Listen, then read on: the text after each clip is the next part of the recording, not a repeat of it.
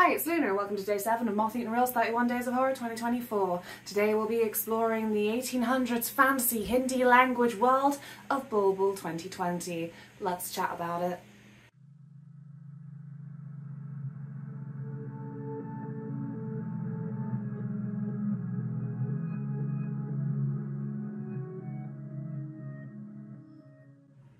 Disclaimer, I'm sorry if I seem somewhat agitated. I'd actually just recorded all of this already, but apparently I didn't because my recording decided to then glitch out and not actually capture any of it.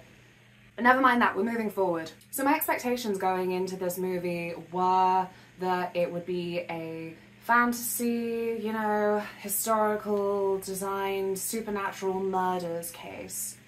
And I wasn't exactly wrong, all of these things do happen. How do they happen though? Well, let me tell you. So we open in on the scene of two children, a boy and a girl, and the girl is dressed up in some kind of like bridal looking gear. I'm not exactly sure because another thing that I'll be saying throughout this video is that I don't have a lot of cultural context because you know what? A crash course on Wikipedia can only really give you so much. But we start with this little boy and little girl and then we find out that it is because the little girl is being married off to the little boy's brother. The brother is then about 30 whilst this child is around 10, so there's our first horror. As they're in the carriage ride on their way to her new home, um, the little boy starts telling her this tale about this this beast woman, this demoness called a Chudel. And it's something that I am going to say that I'm glad that I did look up whilst I was actually watching the film the first time, because as much as I just said, you know, a crash course on Wikipedia is not going to teach you everything about culture. The thing is, I think that it is actually very important to know the context of the name Chudal specifically, because the way that the subtitles translated it as just demon woman, it didn't get across a lot. Even as the boy is then, you know, going into the folklore of this particular type of demon. When looking up the lore specifically for a Chudal, I found out some things that the boy said, you know, backwards facing feet, lives in the trees, but also that they are specifically agents of the deity Kali. Um, that they often come back to avenge wronged women, perhaps including themselves, and this is something important to keep in mind for the film going forward. After we first have a little scene of them arriving, we get a flash forward for 20 years later when um, the little boy is all grown up now. His name is Satya, and he is returning from London to the estate where he and his brothers live with their wives. And we find that one of the wives, who was riding with them in the carriage, Binodini, um, her head is shaved, and she is then all in white, white veil, white um, dress.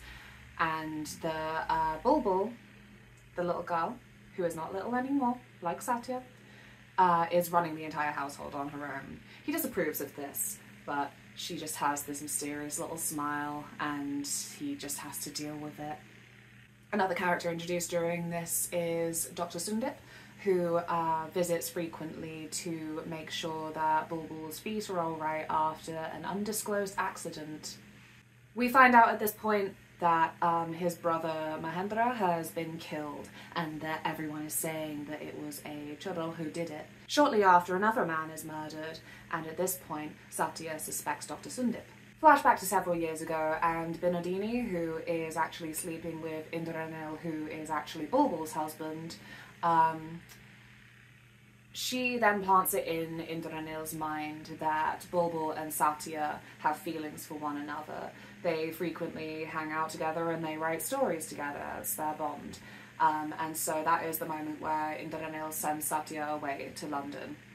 There's a pretty beautifully shot scene um, of then Bulbul being quite torn up about this because writing stories has often then been, you know, an escape for women, especially women in like closed off marriages and isolated from a lot of people. She and Binodini don't not get on, but they're clearly not, you know, super fond of each other. They are not then an escape for each other from their circumstances. Anyway, she runs to the window, which is then presented as bars, and then it's like all of the phantoms of every time she ran to the window whenever she heard that visitors were arriving um, all run into her. She eventually realizes that he is not coming back anytime soon, and she takes the book that they wrote together of their stories and, heartbroken, tears it all out and throws it in the fireplace. With some more prompting from Binodini, Indranil goes and investigates this fireplace and just so happens to find a convenient piece of unburned paper that says Satya and Bulbul, and so this to him confirms that they did have feelings for each other, and that is not acceptable from his wife. And so as she is bathing, he um, grabs her by the hair, drags her out, and in a very slow mo kind of drama scene that I wasn't keen on for making the brutality aesthetic. Um, he beats her and mutilates her feet. We then see that she is bedridden as she is recovering, and this is when Dr. Sundip first enters her life. And then, while she is bedridden, the brother Mahendra um, rapes and accidentally suffocates her during the act. The following scene, we see that Bulbul is not dead, but has been resurrected, possessed maybe, made into an agent of the goddess Kali as she has come back, and it is Bulbul who is the Chudel. After this, we return to the present day to see that Satya is um, escorting Sundip away, and shenanigans ensue in which the entire forest is set ablaze by Satya. The now revealed Chudel, um, Bulbul, is then lit a light in the trees as she is running away. So she goes up in flames with all of the forest, and Satya cries.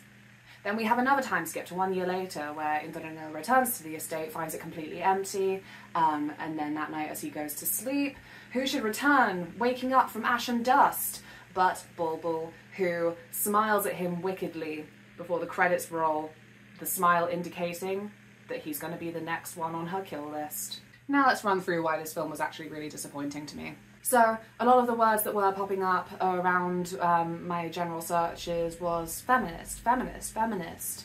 And I suppose that is because of this kind of like revisionist telling of the lore of a Chudel. Um, it sort of reminded me of some revisionist uh, tellings of the Medusa tale. Um, it's something that I've then, you know, seen on Tumblr. It's that, um, of course, Medusa is then one of the Gorgons. She has two other sisters, is um, a common one. But the idea that essentially um, Medusa was once a human who was raped by Poseidon, and Athena's judgment in turning her into a Gorgon was actually um, a benevolent thing, turning her into this creature who would petrify anyone that looked at her and the empowerment in that idea for someone who has been a victim of violent sexual assault. And it's something that came to mind for me watching this film because I feel that it has a similar level of dissatisfaction for me. The idea that it's kind of not actually that cathartic to then find that the only way to then succeed, win at assault, is to then become some kind of monster who is just so different from who you were before.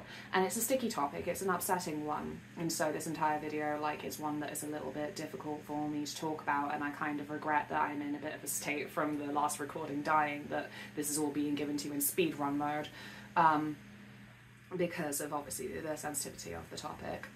But early scenes of Bulbul and Satya, especially when they were children, uh, we see that she is then playful, mischievous. As I said, one of the main ways that they bonded was through telling stories and, and making up these like fantasies together. And so she has these elements, like she has a character. The the actor plays so so well. I'm gonna tell you now that the actor's acting actually puts this up a whole star rating for me. It was just so well done. She has just wonderful expressive eyes that really then drove home how much her character just died after the assault. There's praise to be had as well for the visual metaphor of the feet.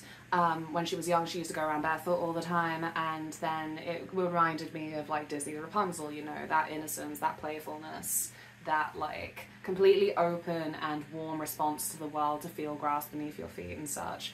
Um, and then as time goes on, we see that actually a lot of the men in her life are then um, using that kind of metaphor by um, putting her in lots of like foot jewelry that then kind of almost resemble shackles, like the shackles of society. And one of the scenes, uh, when she's bedridden, when she's first being propped up to be, you know, in the recovery position, um, there's a pretty nice visual scene for like gore, but also in that cool horror scene way, uh, in which, uh, as I say, her feet have been mutilated, and so the doctors are pulling off all of her bloodied foot jewelry and putting them into a dish. And of course, the other focus on feet is then surrounding the uh, Chudel folklore, is that they have backwards facing feet.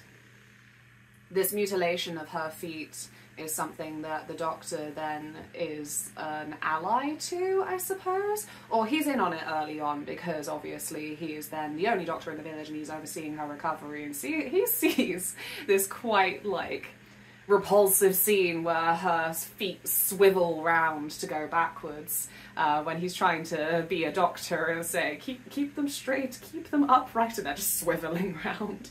There's praise to be had for that, I think, but I really then just don't like that whole framing. As I say, one of the other examples of this kind of trope in media um, is then Sansa Stark in Game of Thrones. I've always been a Sansa lover, um, that's another video, but I'm bringing it up because the thing is, we first meet her as just, you know, a happy little girl, full of fantasies, full of life, full of vim and vigour, and then I think it's series six. Doesn't matter. But when she is then a victim of a violent assault, her character then also seems to change entirely because she needs to be strong woman now. And so she sets her rapist's own dogs on him and just becomes brutal and cutthroat, only wears black, is only cold and calculating, and is not that stupid little girl anymore. Similarly for Bulbul, she does not seem to actually have joy in life. She has revenge. That's what she has. That's what she is completely consumed by. And being consumed by revenge is not a goal. Acknowledging again that this is a sticky topic, that it's going to hit a lot of different people in a lot of different ways. A lot of victims of sexual assault will feel differently about this. But I'm saying that for me, it's a disappointment every time that I see that actually the painting of the way to survive, a revenge fantasy, is then to become just someone that you're not because it will take over the rest of your life and you will never escape it, is how it always hits to me. And so that was one of my major issues with Bulbul. Um, another thing that I found then just really unsavory, left a really bad taste in my mouth, the fact that then she is this agent of Kali, this goddess who has various aspects. From a quick little search of her name, she has aspects like the moon, femininity, destruction, revenge. And so all of these things, once you know them, they kind of set you up for what's about to happen. One of the deaths that happens, one of the killed men, there's a witness, a little girl, and she says he was killed by the goddess says the subs. Specifically though, it's nice when you actually use your earballs because I'm like, Kali, she said Kali. The way that I summed up the summary, um, all of those flashbacks, they really obfuscate what is otherwise just a very simple story. It's annoying to me that the flashbacks kind of then presented this air of mystery that wasn't really a mystery, and I don't know if it would have worked better for the film to then just be up in front about the fact that, yeah, it's definitely Bulbul, even though I don't know what kind of audience member you'd have to be to be like, it might not be though. Who else could it be? Come on, let's go. And so yeah, the flashbacks I found like annoying. They were also weirdly boring. They kind of also promised a lot more in-depth family drama, you know, with that kind of Lady Macbeth vibe of um. But it just did not really then kind of come out in a satisfying way to me. Although the Lady Macbeth vibe is then um, not entirely uh, directly translated because one of the things that the flashbacks confused me on was the fact that she was not the eldest brother, Indranil's wife. Um, she was the wife of Mahendra.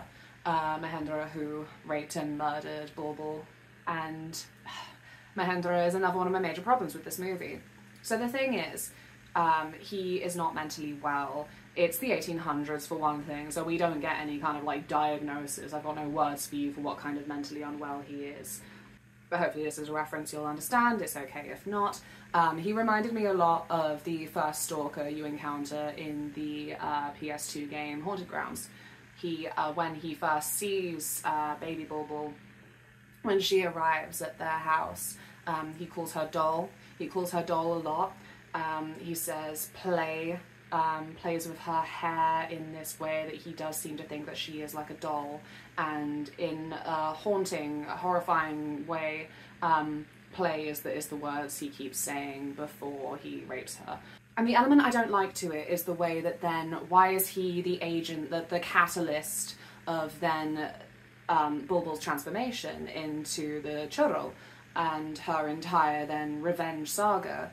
Um, it just, it feels off to me, the idea that then someone who is not mentally well, um, who isn't all there and is in a way not entirely to blame. Now I know that's controversial. Again, a lot of aspects of this film are going to hit different for different people. But for me, I'm like, that should not have then been the person who would then really like kick this off. Especially when Chudel, agent of Kali. Like, divine justice then is the word of like this revenge saga.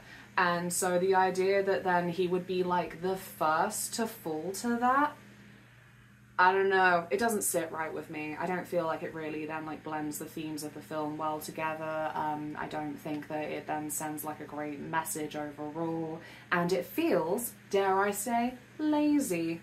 Lazy and offensive, double whammy. The film also seems to have this kind of like yes all men thing going on until it comes to Sundip.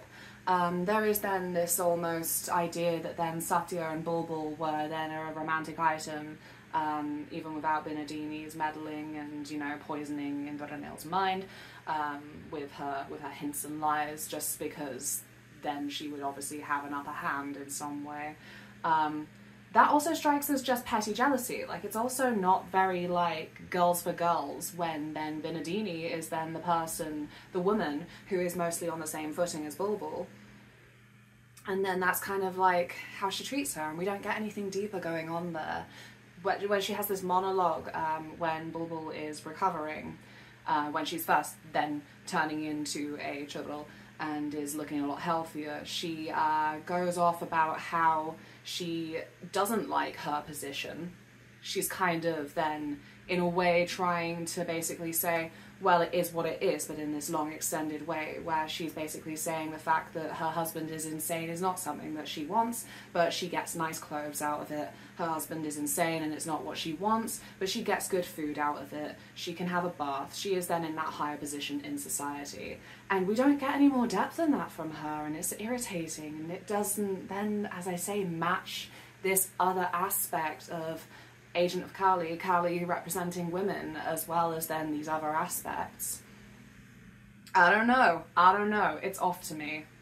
And Sundip feels like he's only spared because he is then worshipping her by the end. When the forest is lighting up and it's all going down, he says to Satya, like, she's not a demon, she's a goddess. But even then, I don't know, it's it's weird, it's not enough. He then just he feels like a, a vampire thrall or something, and just it's a very shallow story for what it is. And matched with that bad kind of messaging. And alongside that that that messaging that actually feels incredibly bleak, um, whilst the story is being obfuscated by these flashbacks to seem not so shallow. Yeah, yeah, I gosh. I don't have a great score for this one. This one is two backwards feet and half a cigarillo out of five. Thank you for joining me for the accidentally sped up word vomit of Bulbul today. Um, please join me tomorrow for what will hopefully be a much lighter endeavour with a comedic twist on Frankenstein.